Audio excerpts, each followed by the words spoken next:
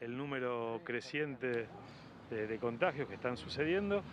Hemos decidido en el Consejo de Gestión de Riesgo que preside el intendente Pablo Hapkin tener todos los ejes de gestión que aplicamos durante los momentos más críticos de la pandemia, volver a ponerlos activos. Una de las estrategias que habíamos eh, hecho, puesto en marcha eh, por marzo era el del centro de aislamiento y en ese sentido eh, se decidió volver a tener operativo el centro de aislamiento para cuando fuera necesario. ¿Cómo va a ser el funcionamiento?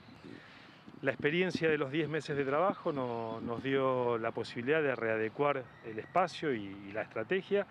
y hemos definido para este primer momento eh, concentrar en el paddock eh, del hipódromo tanto el comedor o la parte alimentaria de, la estadía como también el, tema del alojamiento de, las camas, pudiéndolo dividir porque el edificio así lo permite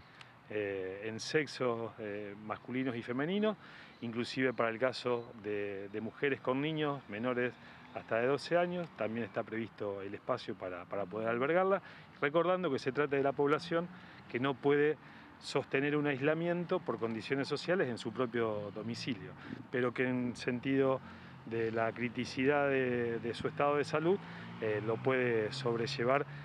sin necesidad de una internación.